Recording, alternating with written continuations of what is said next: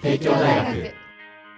スポーツ医療学科健康スポーツコース。スポーツの主に仕組みであったりとか健康のことを考えたりあとはあのスポーツのトレーナーの知識とかあとは教職を取ったりとかあらゆる幅広い分野を学んでます。僕自身スポーツをやっていてスポーツにとても興味があって将来はそういった職業の業界で働きたいと思ったのでこの学科を志望しました。主に健康のことを学んでいます。あとは体の仕組みであったりとかっていうのを今学んでいます。今まではなんとなく生活していたっていうのもあるんですけど結構自分の考えとか行動に結構責任を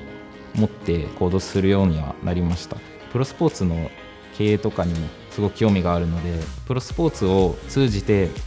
こうスポーツを広げていくことができればもっとあのスポーツ人口に増えるきっかけになるのではないかなっていうふうに考えているので。アスレチックトレーナーや健康運動指導士保健体育教諭実践性を養えるようなものを特徴としています。4年間で、まあ、他の学部との交流もそうなんですがあの本学科の中にはさまざまな、将来を目指す学生がいますのでそういった中の学生と交流することによって、えいろいろな経験を積んでいただけるという形になっています